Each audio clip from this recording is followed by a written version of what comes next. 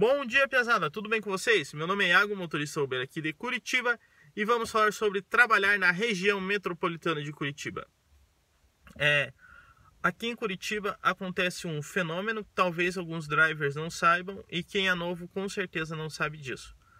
Ah, os bairros mais afastados do centro de Curitiba e os bairros da região metropolitana, eles têm um desconto de 15% na tarifa da Uber.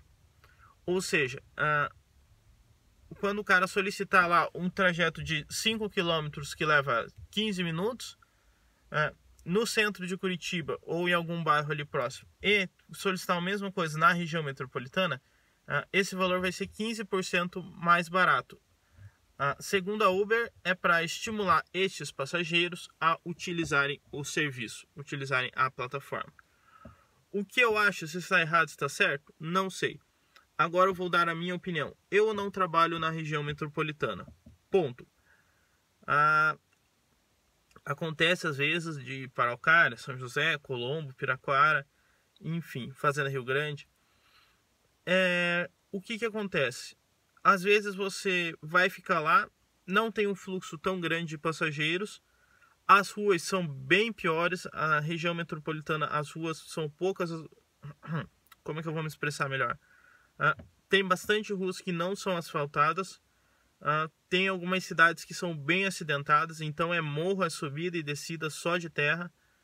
Uh, vocês vão ficar lá, vocês vão sujar o carro de vocês, vocês vão ficar entrando em ruas terríveis e vocês vão receber 15% menos. Então, eu, quando vou para a região metropolitana, eu direciono o destino para Curitiba, ali no aplicativo, coloco no GPS algum ponto de Curitiba que eu vejo que é perto. Ah, se você está em Colombo ali, uh, dá para ir para o Cabral. É, dependendo da região ali, meio que Tamandaré e tal, dá para ir lá pro, direcionar lá para o Shopping Miller.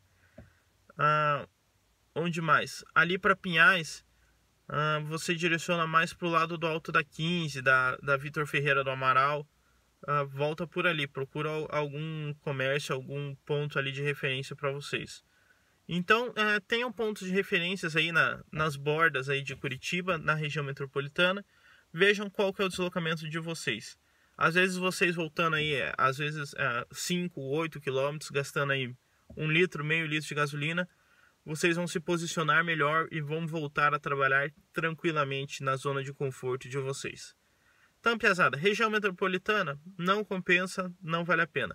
Só compensa única e exclusivamente se você mora naquela cidade da região metropolitana, você conhece bem as ruas e você quer ir para lá, para a região metropolitana. Então, ah, eu peguei um, um passageiro que era driver também, ele morava em, em Araucária e ele gostava de ficar só em Araucária e fazer a região de Araucária. A região metropolitana, dependendo dos horários, tem bastante dinâmica, dá mais dinâmica que Curitiba.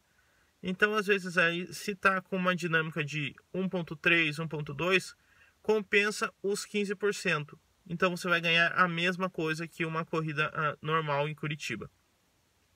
E chega a dinâmica muito maior, mas também daí ninguém pede que o valor fique absurdo. Beleza, pesada? Sobre região metropolitana, é isso aí. Eu particularmente não gosto e não trabalho, mas cada um trabalha onde conhece, onde é a sua zona de conforto. Beleza, pesada? Tudo de bom para vocês. Ah, recadinho de sempre. Se está gostando dos vídeos, deixa o like. Se tem alguma dúvida, deixa o seu comentário. Se quiser ser motorista Uber ou entregador Uber Eats, tem o meu link aí embaixo.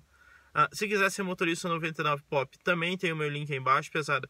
Se tiver com alguma dúvida, alguma dificuldade, alguma coisa que eu possa ajudar vocês aí quanto a esses temas que a gente conversa no canal, Uh, é só me chamar que eu vou ajudar vocês com toda a minha disposição e bom grado. Beleza, pesada? Tudo de bom pra vocês.